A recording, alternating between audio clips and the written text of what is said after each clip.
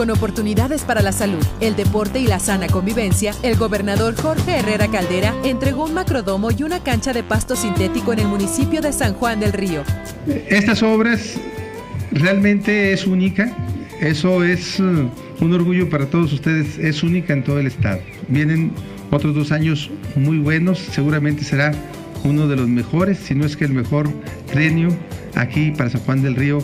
José Rolando Villarreal, alcalde de este municipio, acompañó al mandatario estatal durante la supervisión de este espacio deportivo totalmente moderno, funcional y de calidad para que lo disfruten cerca de 3.000 sanjuanenses. Un apoyo muy bueno para nosotros los jóvenes que nos mantiene ocupados, por decir, aquí jugando en las tardes. Nos distraemos en el deporte, no en otras cosas como los vicios o cosas así.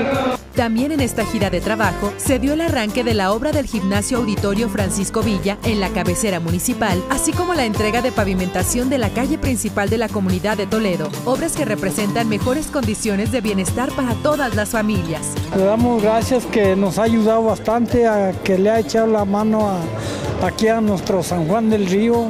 Pues me parecen muy bien porque es un beneficio para muchas comunidades, no nada más para la cabecera de San Juan del Río. Unidos crecemos todos. Gobierno del Estado de Durango.